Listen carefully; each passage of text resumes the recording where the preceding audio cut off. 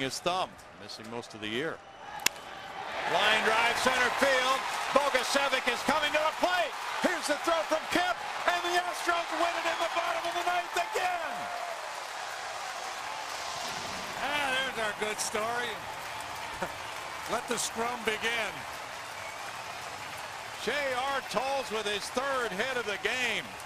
Began the day 0 for 32. Winds up 3 for 4 with the game winner in the last of the ninth. How about that? One for May coming in. Three knocks today, drives in the game winner. Oh, man, that, that has to feel so sweet for J.R. Towles. A third straight one-run game in this three-game series. Here's the winner. Ball really hit hard. Bogusevic got a nice jump. Kept with an accurate throw. He's going to have a shot at it, but he just airmails this ball, and his haste probably never got a good grip on it. He almost caught the double by Wallace, who hit a deep blast leading off, or with one out rather.